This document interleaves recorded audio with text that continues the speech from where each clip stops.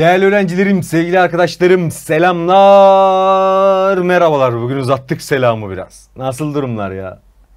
Selim Hoca sıcaktan pişiyor, pişiyor, pişiyor. Siz hiç hocam ne durumdasınız, ne yapıyorsunuz, çok çalışıyorsunuz demiyorsunuz. O kamptan o kampa, o kamptan o kampa, o soru çözümünden o soru çözümüne Selim Hoca koşturup duruyor. Ama bu işten faydalananlar farkını görecekler dedik. Şimdi arkadaşlar neredeyiz artık? Bölme bölünebilmenin son testi. Son testi beceri temelli soruların olduğu test. Bomba gibi taş gibi sorular var.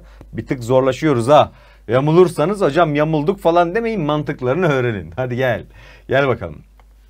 Bir alışveriş sitesinden bulaşık makinesi deterjanı almak isteyen Nazlı Hanım istediği marka deterjanın için arama yaptığında aynı ürün için bir tanesinin fiyatı en fazla 118 TL olan 7 farklı fiyatla karşılaşmıştır diyor. 7 farklı fiyatla karşılaşmış. A diyelim, B diyelim, C, D, E, F, G. 7 oldu mu? 1, 2, 3, 4, 5, 6, 7 tane fiyatla karşılaşmış. Ne diyor? Bir ta en fazla 118 TL olan. Şimdi bilgileri güzelce okun.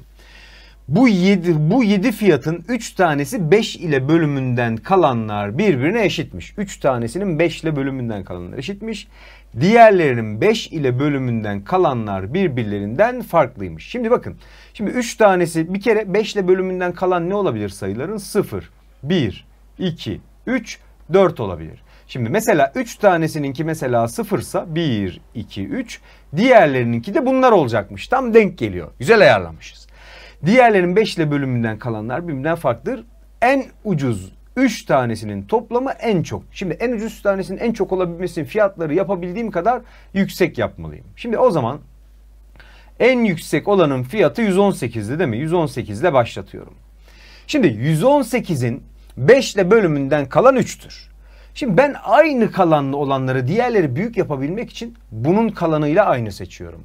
O zaman bundan sonraki bir ürünün fiyatını bir ürünün fiyatını yine 5 kalanını verecek olan e, bunun 5 küçüğü şey 3 kalanı verecek olan 113 yapıyorum. O zaman 5 daha düşürdüğüm zaman diğeri de ne yapıyor arkadaşlar? 108 yapıyor. Tamam mı?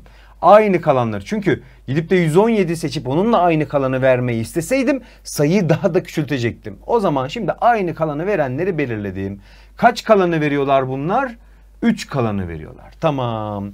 Şimdi o zaman 118'den bir düşüğünü alıyorum. Bunun fiyatını 117 yapıyorum. Kaç kalanı veriyor bu? 2. Bak 3 kalanlı bu. Bu kaç kalanlı? 2.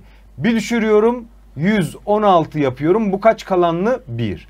Bir düşürüyorum 115 yapıyor. Kaç kalanı veriyor 115? 0 kalanı veriyor. Bakın 0, 1, 2, 3 kalanı verdirdim. Ne kalanı verdirtemedik? 4. O zaman bunun fiyatında ne yapıyorum? 114 yapıyorum ve işim bitiyor. En düşük 3 tanesi. En düşük 3 tanesinin biri 108. Biri 108. Öbürü ne? 114. Pardon biri de 113 oldu. Biri 113 oldu. Diğeri ne oldu? 114 oldu. Topluyorum şimdi bunları. Ne geldi? 8, 11, 15'in 5'i. Elde var 1. Şuradan 3 geldi. 3 buradan 335 sorumuzun cevabı Denizli. Ama çok ekstra yorum var ha. Çok ekstra yorum var. Beyni yakıyor. Beyni yakıyor diyoruz ya. Onun gibi güzel tatlış bir soru. Geçtim sonraki soruya. X, Y pozitif tam sayılar olmak üzere bu ifade X sayısı Y sayısını tam böler anlamına geliyormuş. X sayısı Y sayısını tam böler.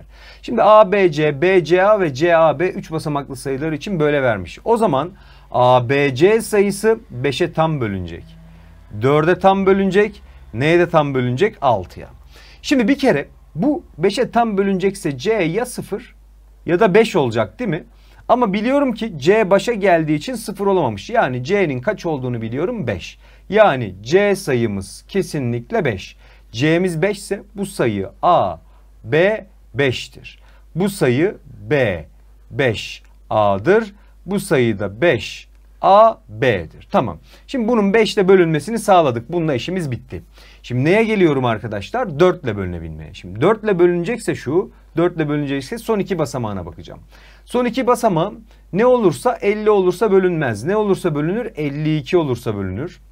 Sonra 56. Şimdi B'nin alabileceği en büyük değer diyor. Biz şu anda A'nın alabileceği değerleri bulduk. Ya A'mız ya 2 ya 6. O zaman burada yazalım. A'mız 2 olursa 5 2B yapacak. A'mız 6 olursa 5 6 B yapacak. Şimdi iki duruma düşürdük. Şimdi bu sayılardan en büyük olanı ve neye tam bölünmesini isteyeceğiz arkadaşlar? 6'ya tam bölünecek. Şimdi 6'ya tam bölünebilmesi için bir kere neye tam bölünmeli? 2'ye tam bölünmeli. Şimdi o zaman 2'ye tam bölünecekse buradaki sayımız ya 0 ya 2 ya 4 ya 6 ya da ne olacak? 8. Bir kere buradan B sayısının B sayısının ne olamayacağını biliyoruz arkadaşlar. 0 olamayacağını biliyoruz. Şimdi B'nin alabileceği en büyük değeri istiyordu. Şimdi B 8 olur mu diye bakıyorum. 6 ile de tam bölünecek diye rakamları toplamına bakacağım. Şimdi buradan ne geliyor? 7 artı B kaçın katı da olmalı? 3'ün katı.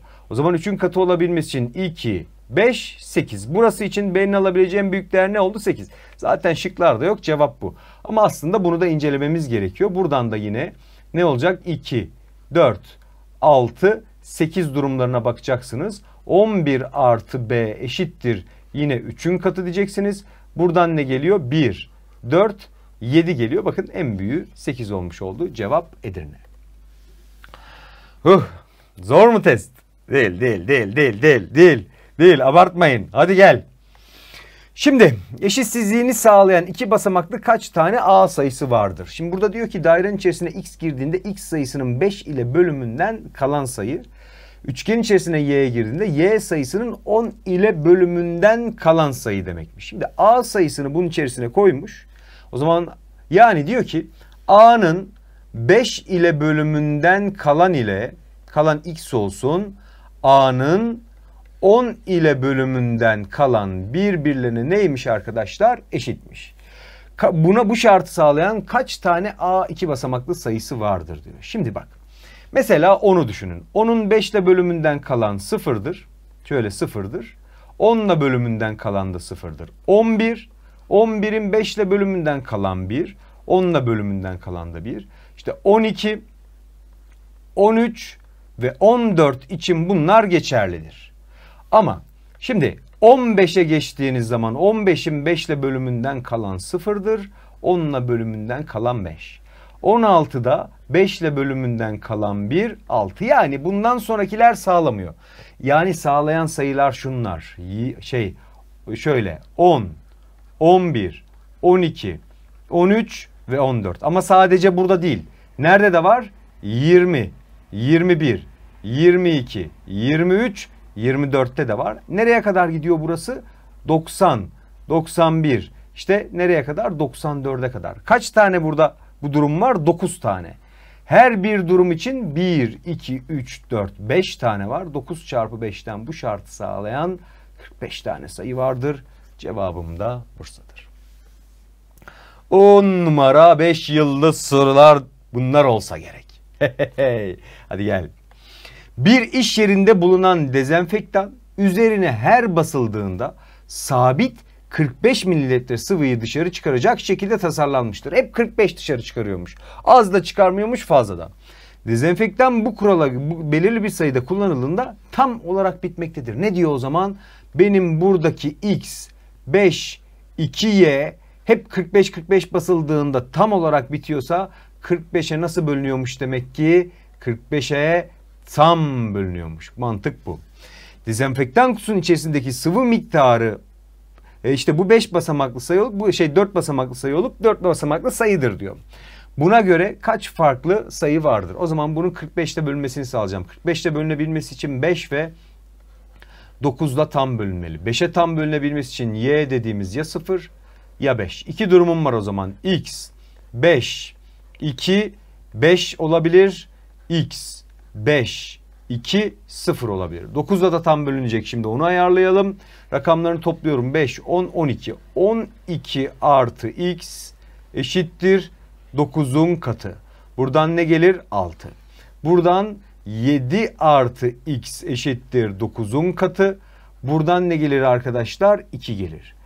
Bu koşulu sağlayan kaç farklı sayı yazılır diye soruyor arkadaşlar. İki tanecik sorumuzun cevabı ne olur? Bursa olmuş olur. Doğru mu çözdük? Doğru çözmüşüz. Arada yanlış da yapabiliyoruz ha. yanlış da olabiliyor. Hadi geçtim. Bir ana sınıf öğretmeni kırtasiyeden kız öğrencilerine sulu boya ve erkek öğrencilerine pastel boya almıştır diyor. Güzel. Aşağıda kırtasiyenin öğretmene verdiği ve bir kısmına mürekkep dökülmüş olan makbuz gösterilmiştir diyor. Tamam. Şimdi ne olmuş biliyor musunuz? İşte öğretmen kırtasiye ödediği toplam miktar 4 basamaklı bir sayı olduğuna göre ana sınıfının toplam kaç öğrenci vardır? Bak şimdi. Bir pastel boya 12 lira 12 liraymış. 25 şey, liraymış. 12 adet aldığına göre demek ki burada 12 tane ne var? Pastel boya kim alınmıştı? Erkeklere. 12 erkek var demek ki. 300 lira bunu ödemiş. Sonra burada kız öğrenci sayısı çarpı kaç var arkadaşlar? 36. Sulu boya 36. Yani burası ne yapıyor? 36K yapıyor. İşte bunları toplamış. Bunları toplamış. 4 basamaklı buradaki sayı oluşmuş. Şuraya da A diyelim. Buna göre işte buradaki neyi soruyor bize arkadaşlar? Ana sınıfta toplam kaç öğrenci vardır diyor. O zaman hemen şurada şöyle bir yorum yapalım mı? Toplam ürünümüz ne kadardı? 1160A. Bundan neyi çıkarıyorum? 300'ü çıkarıyorum ki öbürünün fiyatını bulalım. 300'ü çıkarıyorum. Bakın burada A olacak. Burada 6 olacak. Burada 8. Yani benim 36K buna eşit. E o zaman o zaman bu sayı 36'ya nasıl bölünüyormuş? Tam 36 ile bölünebilme kuralına bakalım. 36 ile bölünebilme kuralımız ne arkadaşlar? 9 ve 4 ile bölünebilme. O zaman buranın 4 ile bölünebilmesi için A sayısı 0 olursa bölünür. 4 olursa bölünür. 8 olursa bölünür. Şimdi 9'a da tam bölünce için rakamları toplamına bakacağım. 14 artı A 14 artı A eşittir ne olmalı? 9'un katı. 9'un katı olabilmesi için A zaten ne oluyor bakın 4. O zaman A 4'tür. Tamam yani bizim 36K dediğimiz 864'e eşit. Şimdi buradaki kız öğrenci sayısını bulabilmek için o lazım bize. 864'ü neye bölüyorum artık? 36'ya bölüyorum. 2 kez var. Buradan 72. Buradan çıkardım. 14 144'te kaç kez var? Arkadaşlar. Oh boğazım gitti. 4 kez var. Çarptığım zaman tam bölünüyor. Yani 24. Kız öğrenci sayısı 24. En başta erkek öğrenci sayısının 12 olduğunu söylemişti zaten. Burada toplam 36 öğrenci vardır. Cevabımız da Ceyhan'dır. Evet bunu da geçtik. Geldik kaçıncı sorumuza? 6. A ve B pozitif tam sayılar olmak üzere kutu içerisine A ile B girdiğinde A sayısı B sayısına kalansız bölünür diyor. X, Y, Z buraya çok dikkat. 3 basamaklı rakamları farklı bir sayı olmak üzere, rakamları farklı bir sayı olmak üzere ifadesini sağlayan en büyük X, Y, Z sayısının 6 ile bölümünden kalan kaçtır? Şimdi diyor ki buradaki X, Y, Z sayısı X ile nasıl bölünecek? Tam bölünecek. Ve X, Y, Z sayısı neye de tam bölünecek? 5'e de tam bölünecek diyor bize. Şimdi aşağıda ne sorduğuna dikkat et. Diyor ki en büyük x, y, z. En büyük x, y, z olacaksa x sayısını ne seçerim arkadaşlar? 9, 900'lerde olacak. Yani bu sayı 900 y, z sayısı. O zaman x 9 seçtim. 9 da tam bölünecek. Yine 900 y, z sayısı 5 de ne bölünecek? Tam. O zaman 5 de bölünmesini sağlayalım. 5 de bölünebilmesi için z sayısı ya 0 ya da ne olacak? 5. O zaman iki duruma düştü benim sayım. Benim sayım ya 9 y 0 ya da 9 y 5. Artık 5 de bölünmesini sağlattım. Bu sayı neyle tam bölünecek şimdi? Arkadaşlar e, 9 ile tam bölünecek. Hadi rakamlarını toplayalım. 9 artı y yaptı burası. 9'un katı. Şimdi rakamları farklı diyordu. Buradan y sayısı ya 0 ya 9 olur. Rakamları farklı dediği için 9 olmaz. Çünkü 9 değerini verdik. 0 da olmaz. Buraya geldim o zaman. 14 artı y eşittir. 9'un katı. 9'un katı olabilmesi için y kaç olmalı? 4. O zaman sorumuzun cevabı 945 oldu. 6 ile bölümünden kalan kaçtır diyor. 6 ile bölümünden kalanı bulmak için de bölün. Ne olacak ki? Bölelim. 6 bir kez var 6. 34'te 5 kez var 30. Buradan 4. 45'te kaç kez var arkadaşlar? 7 kez var 42. 45 eksi 42 3 kalanını verdi. Sorumuzun cevabı da Ceyhan oldu. Anladık değil mi mantığını? 6 bitti. 7. sorumuz. Şekildeki zarın yan yüzlerinde sıfırdan farklı birer rakam yazılmaktadır. Sıfırdan farklı birer rakam yazılıyormuş. Nerede? Yan yüzlerde. Figen zarın etrafında ok yönünde dönerek yan yüzlerdeki sayıları sırasıyla yazıp dört basamaklı sayılar oluşturmuştur diyor. Dikkat et. Kırmızı yüzden başlarsa bir kere şu yüzde küçük a yazsın. Şu yüzde de veya bu yüzde b yazsın. Bu yüzde de c yazsın. Karışmasın hadi. Kırmızı yüzden başlarsa yazdığı sayı 55'te tam bölünüyor. Kırmızı yüzden başlayarak sayıları yazıyorum. 6, A. Hadi büyük harflerle yazalım. B, C. Yeşil yüzden başlayıp yazarsa o zaman büyük A'dan başlayacak. Sonra büyük B, büyük C ve 6. Şimdi bu şekilde olursa bu sayı neyle tam bölünüyormuş? 55 ile tam bölünüyormuş. Bu şekilde olursa bu sayı neyle tam bölünüyormuş? 36 ile buna göre A sayısı kaçtır diyor. Bilgileri ayıkladık yürüyelim şimdi. Şimdi 55 ile tam bölünebilmesi için 5 ve 11 ile tam bölünmesi lazım. Şimdi 5 ile ve 11 ile tam bölünebilmesi için C sayısı bir ya 5 ya da 0 olacak. Şimdi sorun üstüne gidiyorum. Sıfırdan farklı diyor gitti. Yani C'yi buldum 5. Yani benim sayım 6 A B ne oldu? C'yi bulduk 5 oldu. Şimdi bu neyle tam bölünüyormuş? 11 ile. Ona bir bakacağız. Buradan ne var? Artı, eksi, artı, eksi var. Artılı olanlar ne? A artı 5 var. Araya eksiyi koyuyorum. Eksili olanlar ne? B artı 6 var. Burası neyin katı olacak? 11'in bir katı olacak. Şimdi bakıyorum hemen. Bakıyorum hemen. Buradan ne geldi? A eksi B geldi. Bakın şu eksiyi de attığın zaman 5 eksi 6'dan eksi 1 yapıyor. Eksi 1 de karşıya attığım zaman 11K artı 1 yaptı. Burası tamam. Şimdi 36'ya tam bölünecekse sayımız 9'a ve 4'e nasıl bölünmeli? Tam. 4 ile tam bölünebilmesine bir bakalım şuraya. Ne vardı? Bir de C'nin kaç olduğunu bulmuştuk? 5. 56 sayısı 56 sayısı zaten 4'e tam bölündüğü için gitti. O zaman buraya bakalım şimdi. Buradan ne geldi? A artı B 9'da bölünebilmeye bakıyorum. Artı 11 eşittir ne oldu? 9'un katı oldu. O zaman A artı B neler olabilir bakalım şimdi. Buradan A artı B 9'un katı olacaksa 11 ile 7'yi toplarsam olur. 27 olabilmesi için 27 olabilmesi için neyle toplamam lazım? 17 ee, 16 olması lazım. Tamam A artı B dediğimiz nedir arkadaşlar? Ya 7'dir ya da 16'dır. Şimdi A eksi B 11'in katının bir fazlası olması demek A eksi B'nin 1 olması anlamına geliyor. O zaman A eksi B 1 ise A artı B'nin 7 olduğu duruma bakalım şimdi. A, ilk durumu inceliyorum. Taraf tarafa toplarsam 2A eşittir 8 yapar. Buradan A eşittir kaç olmuş olur? 4 olmuş olur. A 4 ise B'de 3. Şimdi A eksi B'nin yine 1 olduğu durumda A artı B 16 olabilir mi diye bakıyorum. Bakın taraf tarafa toplayınca 2A 17 yapıyor. 2A 17 olamaz. O zaman buradan gelmez. A'mız 4'tür. Sorumun cevabı da Adana'dır. Ayrıntılı, ayrıntılı, ayrıntılı ekstra sorular. Ekstra sorular. Ona göre dikkat, dikkat, dikkat. Bir beyin yakacak soru daha gelsin mi? Hadi gelsin. 3 basamaklı sayılardır diyor. Şimdi bu sayıları 11'e böldüğünde bu da x kalanı vermiş, bu da x kalanı vermiş. x doğal sayı olduğuna göre 4 basamaklı sayısının 11 ile bölümünden kalan kaçtır? Şimdi 11 ile bölünebilme kuralım. Hadi başlayalım. Artı, eksi, artı. Artı olan ne var? a artı 5 var. Yanında eksi 8 var. 11'in katı artı x yazalım. Burası tamam. Hemen ikinci sayıya geçelim. Artı, eksi, artı. Artılı olanlara bakıyorum. Ne yapıyor arkadaşlar? 7 artı b yapıyor. Yanında eksi 4'ümüz var. Yine 11k artı x. Burası tamam. Bilgiyi ayıkladık. Şimdi bu sayının 4 ile bölümünden kalan, şey 11 ile bölümünden kalan soruyorsa buna da uygulayalım. Artı, eksi, artı, eksi.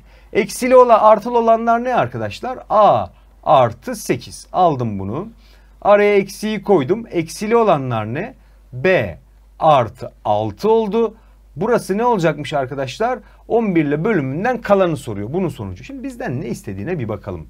Bir düzenleyelim. Eksiyi dağıttığım zaman A eksi B yaptı. Artı 8 eksi 6 artı 2. Şimdi bu işlemin sonucu lazım. Yani bana A artı B lazım aslında. O zaman A şey A eksi B lazım. A eksi B'yi bulabilmek için şunları bir düzenleyelim. Şuradan ne geldi? A eksi 3 eşittir 11K artı X. Buradan ne geldi? A artı 3 eşittir şu işlemleri yapıyorum. Eşittir 11T diyelim. K'larla T'ler karışmasın artı X. Şimdi bana ne lazımdı? A eksi B lazımdı. A eksi B'yi bulabilmek için eksiyle çarpıyorum. Eksi, eksi, eksi, eksi. Bakın burası ne yaptı? A eksi B yaptı.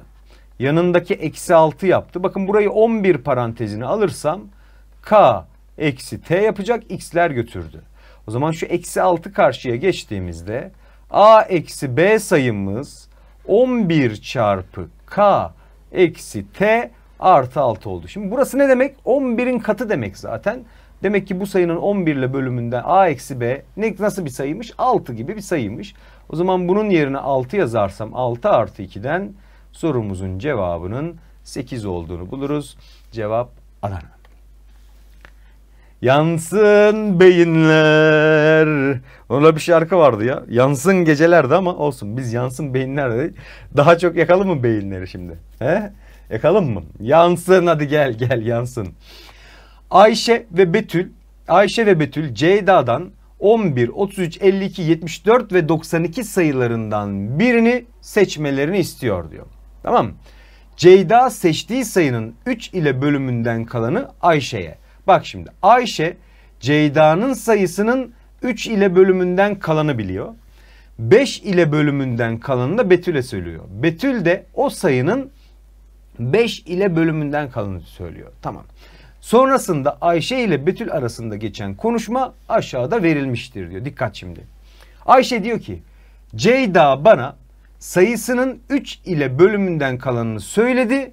Ben sayıyı bulamadım diyor. Yani 3 ile bölünebilme kurallarını uygulamış bu sayılara. Bir bakalım hadi. Sayılarımız neydi? 11, 33, 52, 52, 74, 92. Şimdi bu sayıların 3 ile bölümünden kalanları bir bulalım.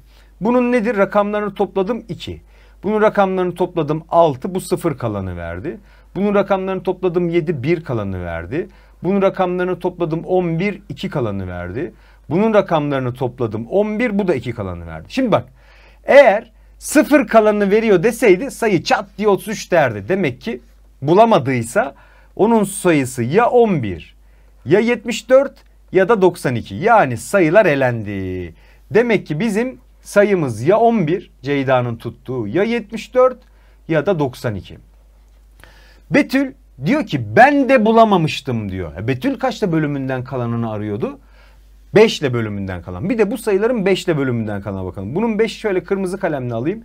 İlk sayının 5 ile bölümünden kalan 1. Bunun 5 ile bölümünden kalan 3. Bunun 5 ile bölümünden kalan 2. Bunun 5 ile bölümünden kalan 4. Bunun 5 ile bölümünden kalan ne? 2. Diyor ki ben de bulamamıştım diyor. O zaman ben de bulamadım diyorsa bu da aynı kalanlı olanları. Yani mesela bir kalanı veriyor deseydi çat diye 11 derdi. Demek ki sayımız bu da değil. Bakın 3 kalanı bizim sayımız ya 52 ya 92 bunun söylediğine göre. 52 92. Diyor ki ancak sen bulamadığını söyleyince ben buldum diyor. İşte onun da hesabını yapıyor. Onun da bulamadığını görünce o sayılardan birini bu bunlardan biri. İkisinin ortak olduğu sorunun cevabıdır. Cevap Edirne'dir. Sorunun cevabı Edirne beyinleri yakan bir soru. Ama daş gibi, daş gibi yorum sorusu. Evet geldik nihayet son sorumuza. Evet güzel bir soru. Tam sınavlık bir soru zor değil bu soru. Bunu iyi öğren. Hadi gel. X, Y, Z 3 basamaklı tam sayı olmak üzere bir buğday başağı ile aralarında X, Y, Z metre mesafe olan 3 çekirge buğday başağına doğru zıplamaya başlamışlardır. Her defasında 11 santimetre ileriye zıplayan yeşil çekirge buğdayın olduğu noktaya ulaşmıştır. O zaman diyor ki tam üstüne ulaştıysa 11-11 zıplayarak X, Y, Z 11'e nasıl bölünüyor? Tam bölünüyor. Net bilgim. Her defasında 10 ileri zıplayan çekirge buğday tanesine ulaşmaya 9 santimetre kalmıştır diyor. 10 sıçrıyor, 10 sıçrıyor, 10 sıçrıyor. O zaman X y, z sayısı 10 ile bölündüğünde kaç kalanını veriyor? 9 kalanı vermiş. 10 10 10 10 gitmiş 9 kalanı vermiş. Sonra diyor ki her defasında 9 santimetre ileri zıplayan kırmızı çekirge buğdayın olduğu noktaya ulaşmasına 1 santimetre kalmış. X, Y, Z. O zaman 9'un katı, 9'un katı, 9'un katı gitmiş. Sonra 9 ile bölündüğünde kaç kalanı veriyor? Demek ki 1 kalan. Şimdi o zaman net bir şekilde ikinci bilgi bana bir şey verecek. 10 ile bölümünden kalan 9 sa hemen Z sayısını şöyle yeşil kalemle 9 olduğunu söyleyebiliyorum. Yani sayımız X, Y 9'dur. Burayı söyledik. Şimdi 11 ile tam bölünmesini sağlayacağız. 9 ile bölündüğünde 1 kalanı vermesini sağlayacağız. Hadi kurallarımızı uygulayalım. Önce 11 ile bölünebilme. Artı, eksi, artı. Artılı olan ne var? X artı 9 var. Eksili olan Y eşittir 11'in katı. Şimdi dikkat edin. Buranın 11'in katı olabilmesi için zaten 9 var. X eksi Y'nin ne olması gerekir? 2. Bilgimi buldum. X eksi Y eşittir 2. Şimdi 9'da bölümünden 1 kalanı vermesini sağlayacağım. Rakamlarını topluyorum. Şurası 9'du. X artı Y artı 9 eşittir 9K artı 1. Attım biri karşıya. X artı Y artı 8 eşittir 9K. X artı Y artı 8 9K ise X artı Y dediğimiz ya 1'dir. X artı Y dediğimiz ya da nedir? 10'dur. Tamam. Şimdi o zaman alt alta yazıp işi bitireceğiz. X artı Y eşittir 1 olursa tek sayı geleceği için olmaz arkadaşlar. Taraf tarafı toplayınca 2x 3 yapar olmaz. X artı Y 10'dur mecbur. Götürdü. 2x dediğimiz 12 oldu. Her iki tarafı 2'ye böldüğümde x'imiz 6. 6'yı yerine yazarsak y'nin de 4 olduğunu bulduk. z'nin zaten 9 olduğunu biliyorduk. 19 mu yapıyor toplamları? Evet sorumuzun cevabı da Denizli olmuş oldu. Evet arkadaşlar burayı da bitirdik. Bölme bölünebilme konumuz bitti. Koşar adımla ileri marş marş marş. İleri ileri marş ileri. Var bir hayalimiz. O üniversite kazanılacak. Kendinize iyi bakın. Bay bay.